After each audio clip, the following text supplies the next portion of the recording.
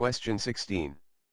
Non-polarized light first passes through one polarizing filter and then through a second.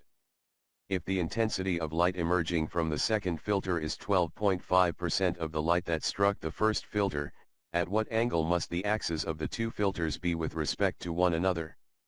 In polarization of light, the filter will only allow the component of light with certain oscillation orientation to pass through. During the process, the amplitude of the outcoming light is reduced with a factor of cosine theta, where theta is the angle between the axes of the incoming light and the polarizing filter. The intensity is the square of the amplitude, so it is then corresponding to a factor cosine square theta. In this question, the light after passing through two filters is reduced to 1 over 8 of its original intensity. We then can think of at least two combinations regarding the way of placing our filter. One is first having followed by quartering, and another option is quartering first followed by having. Let us look at the first case.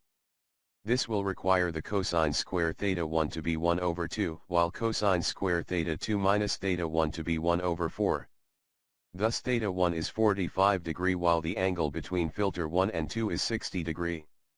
For the second case, theta 1 will need to be 60 degree while the angle between 1 and 2 is 45 degree. The options provided by the question do not contain 45 degree but contain 60 degree. So, the best option is then D.